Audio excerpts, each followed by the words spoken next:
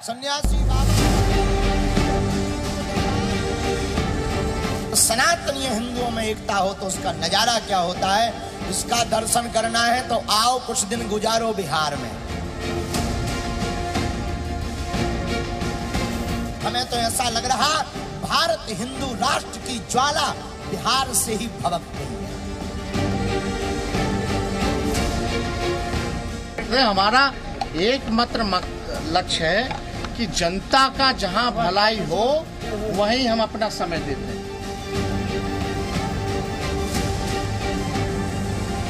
आप को ईद मुबारक की इफ्तार मुझे राष्ट्र मुबारक। और एक दिन ऐसा आएगा भारत में रहना होगा तो सीताराम ही कहना होगा। बिहार की राजधानी पटना में बाबा बागेश्वर का दिव्य दरबार लगा। लोगों की पर्चियाँ निकली। बागेश्वर सरकार ने सवालों के जवाब दिए और ऐलान कर दिया कि बिहार से ही पूरे देश में हिंदू राष्ट्र की ज्वाला जले। बिहार के लोग पिछड़े और बिछड़े नहीं हैं। बिहार के लोग भक्ति से भरे हुए लोग हैं।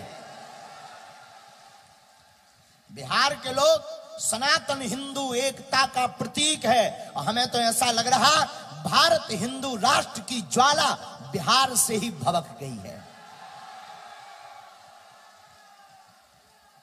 और एक दिन ऐसा आएगा कि पूरा भारत राममय होगा। एक तरफ़ बिहार में बाबा बागेश्वर के दरबार में उमड़ रही लोगों की भीड़ रिकॉर्ड तोड़ रही है। पंडित धीरेन्द्र शास्त्री को दरबार में नहीं आने के लिए लोगों के हाथ जोड़ने पड़ रहे हैं। वहीं दरबार से पंडित धीरेन्द्र शास्त्री के बयानों से बिहार में सियासत भी तेज हो रही है। कलयुग के राजा हनुमान जी है और हमें लगता है बागेश्वर बालाजी का दरबार लगता भी इसीलिए है कि अब दूसरे मज़हब और धर्मों में भटकना और फटकना ना पड़े।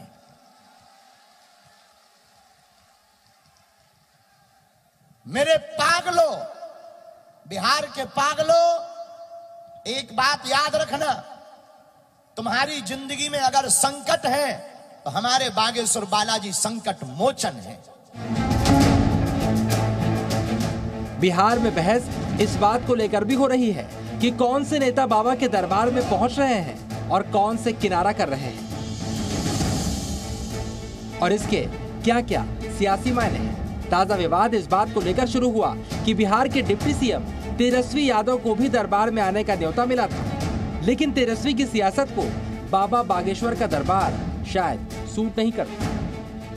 हम लोग, सब लोग जो है, इस काम में लगे हैं, विकास कार्यों में लगे हुए हैं, और आप लोग तो जानते ही है कि कितना निमंत्रण हम लोगों के यहाँ आता रहता। तो उससे हम लोगों को कोई फ़र्क नहीं, हमारा एकमात्र लक्ष्य है कि जनता का जहाँ भलाई हो वहीं हम अपना समय देते हैं। हालाँकि दरबार में नहीं जाने के तेजस्वी यादव के फैसले पर बीजेपी गर्व है। इससे पहले भी आरजेडी नेताओं ने बाबा के दरबार का विरोध किया है। बीजेपी ने आरोप लगाया कि तेजस्वी की श्रद्धा हनुमान दरबार में नहीं बल्कि तुष्टिकरण में।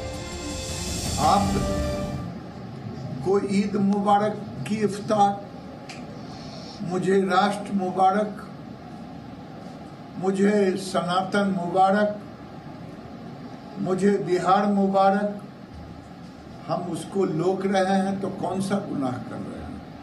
आप इफ्तार मनाएँ, हमें कोई दिक्कत नहीं। कहा जा रहा है, बाबा के दरबार में भले ही भीड़ उमड़ रही हो, लेकिन तेजस्वी यादव के दरबार में नहीं जाने के पीछे कुछ खास वजह है।